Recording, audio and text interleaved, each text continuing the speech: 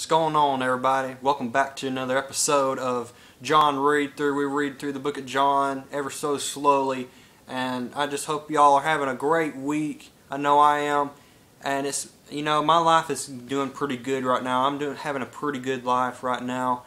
I'm a senior in high school, and I don't know how many of y'all who are subscribed to me are seniors or not, but graduation for me is coming pretty quick. I'm graduating in June getting pretty excited about that. So my high school career is going to a little close, but you know what? I'm going to still preach God's word. I don't care how old I am. I'm still going to preach God's word because God's word is is true, it's good, and it's good for anybody across the world. I don't care if you're from J Japan, from Europe, anywhere in the world. You need to hear what the word has to say.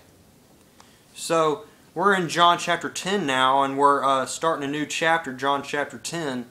And just going to tell y'all that today's video is all about is Jesus the Lord of your life? Is Jesus over your life? Is he, is he the master of your life? Because right now we're going to be reading a little parable about Jesus and talking about the shepherd and his flock and how the you know how a shepherd is. He takes care of his flock. He he makes sure that his his sheep do not get lost because if one sheep is lost, he'll leave all the other sheep and go find that one sheep so he will be happy. So let's start and if you have your Bible, please open up right now to God's um, holy word. We're in John chapter 10. We'll be reading verses 1 through 1 through 21 today. So, thank you uh, everybody for um, tuning in. Let's get started. I tell you the truth. The man who does not enter the sheep pen by the gate, but climbs in by some other way, is a thief and a robber. So Jesus is already starting to preach about this great parable. The man who enters by the gate is the shepherd of his sheep. The watchman opens the gate for him, and the sheep listen to his voice. He calls his own sheep by name and leads them out. Now, Jesus is referring to his followers. He's, he's referring to Christians, referring to um, people who have put their faith in him. They know his voice and they follow him wholeheartedly. When he has brought out all his own, he goes on ahead of them, and his sheep follow him because they know his voice. But they will never follow a stranger. In fact, they will run away from them from him because they do not recognize a stranger's voice. I remember back when I was a little kid, like uh, my mom always told me, do not talk to strangers. And this specifically right here, um, I mean, this is a great example like when we are Christians living in a sin-filled world, we do not need to trust anybody, but we need to only trust in Jesus and show the love and compassion that He had for us 2,000 years ago. So everybody, I just, uh, we're going to keep going right now. Let's get started. Um, Alright, where were we at? I think verse 5, But they will never follow a stranger. In fact, they will run away from him because they do not recognize a stranger's voice. Jesus used this figure of speech, but they did not understand what he was telling them. Therefore Jesus said again, I tell you the truth, I am I am the gate for the sheep. Jesus is the gate to life. Jesus is the gate that the followers go into.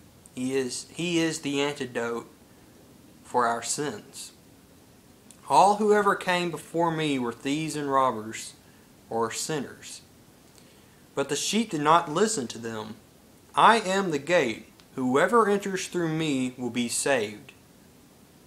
And it goes back to that great uh, verse in uh, the Old Testament the righteous will run into the wall and they will be saved.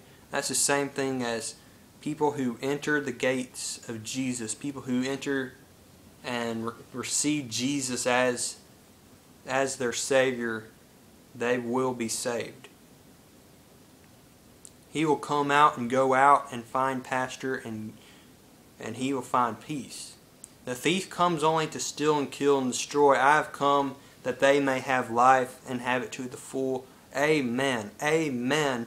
That is so true. People will find to have it to the full. They will have their life to the full if they receive Jesus as their Lord and Savior. There's so many great things about being a Christian, and there's so many negatives about being a Christian. Think about, um, you know, it's not a a good ride. You know, it's not going to be an easy ride when you become a Christian. I know that for a fact, and you know, a, a lot of Christians in the world.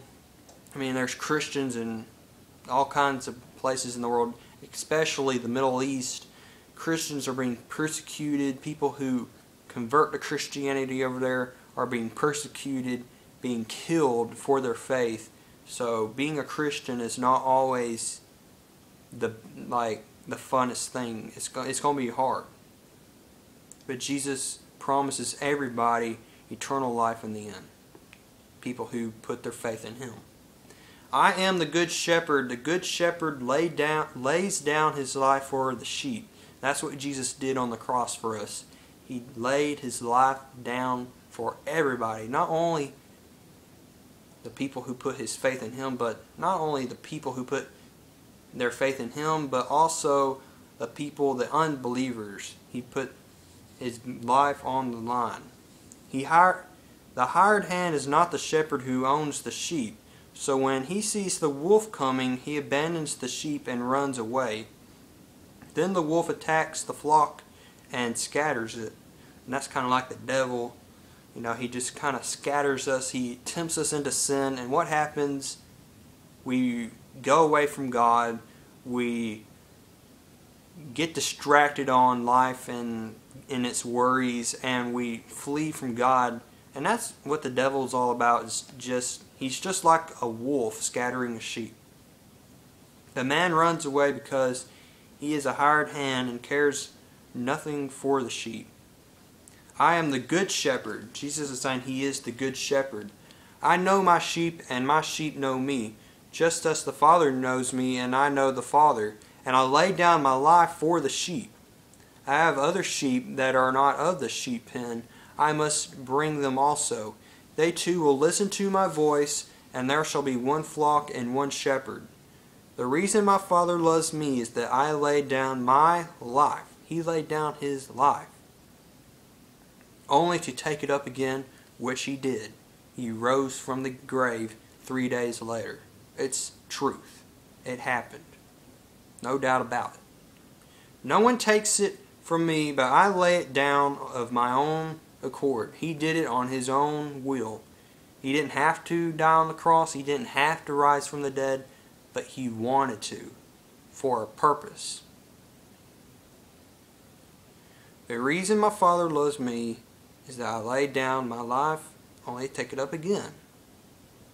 I mean, you just got to think about those words. They speak volumes of truth. And so let's go to verse 19. At, the, at these words, the Jews were again divided. They just could not make up their mind on what Jesus was saying, if it was true or not. Many of them said, He is demon possessed and raving mad. How many times have we read in the book of John that people are accusing Jesus of demon possession? It's just not true. He is not, he is not possessed by demons. I tell you what. Why listen to him? But others said, these are not the sayings of a man possessed by a demon. Can a demon open the eyes of the blind? There's just something truly, truly good about Jesus, and that is not only can he open the eyes of the blind, but he can open the eyes of the spiritual blind. He can open the eyes of the people who are walking in moral filth, walking in ways that Jesus is not called humans to do walking in sin, walking in darkness. Well, my friend, if you're watching this and you're pretty new to my channel and you're pretty uh, just kind of interested in what I'm saying and you're not particularly a Christian or you've never put your faith in Jesus Christ, I encourage you, I encourage you at the end of this video to really just ponder what I've, I've been saying. Um, go back and reread um, the verses that I read. And if you have, haven't watched my other videos, go back and watch some of my old videos of John. And um, I just pray that you would seek God and that God would find you. So, everybody, thank you for tuning in today, and I hope you have a blessed week. God bless, and I'll see you next time.